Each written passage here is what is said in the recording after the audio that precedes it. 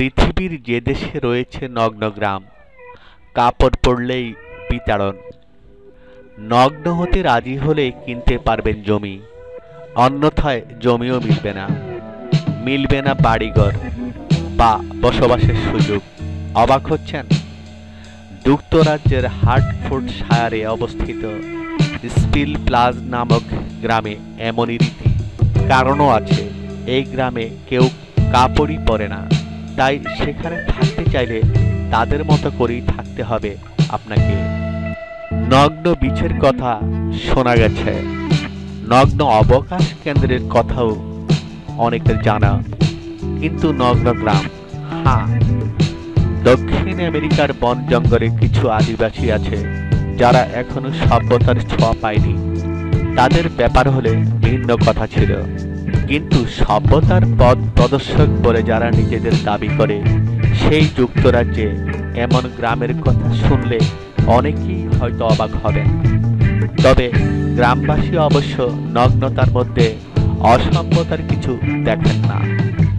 আর যেখানে ইউরোপ, আমেরিকার সামনের সারির সভ্য দেশগুলোর শিক্ষিতরা নগ্নতার দাবিতে আন্দোলন করছেন, রাস্তার মধ্যে কাপড় খুলে ব্যানার হাতে টিভি ক্যামেরার সামনে দাঁড়িয়ে যাচ্ছেন সেখানে ওই গ্রামবাসীকে অসভ্য বলার সুযোগই বা কোথায়? তারা তো নিজেদের মতো করে থাকছেন।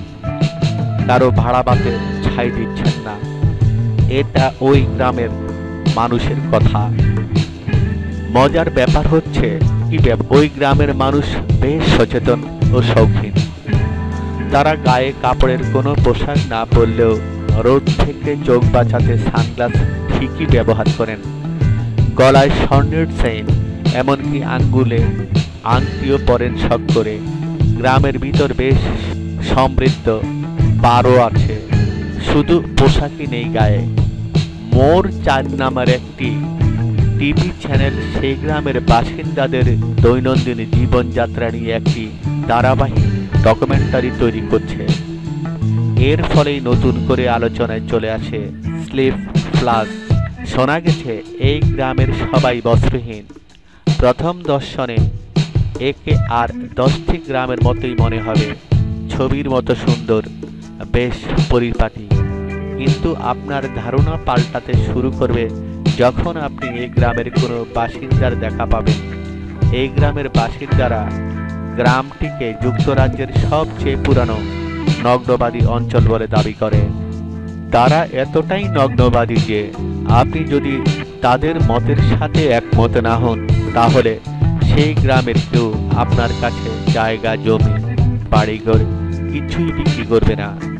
এই গ্রামের বাসিন্দা পঁচাশি বছর বয়সী ইচিউট রিচার্ডসন বলেন, আমি বুঝি না, এটা নিয়ে এত হইচই করার কি আছে? আমি তো অন্য গ্রামের সাথে এই গ্রামের কোনো পার্থক্য দেখি না। ওরা যেভাবে জীবন ধারণ করে, আমরাও সেভাবে করি। সকালে ঘুম থেকে উঠি, দিনের কাজ শুরু করি, বাজারে যাই পানশালায় যাই, দুধওয়ালা পোস্টম্যানরা আমাদের বাড়িতে আসে। সবাই তো স্বাভাবিক। অস্বাভাবিক তো কিছু দেখছি না। আমরা শুধু বস্ত্রহীন থাকি। এই যা।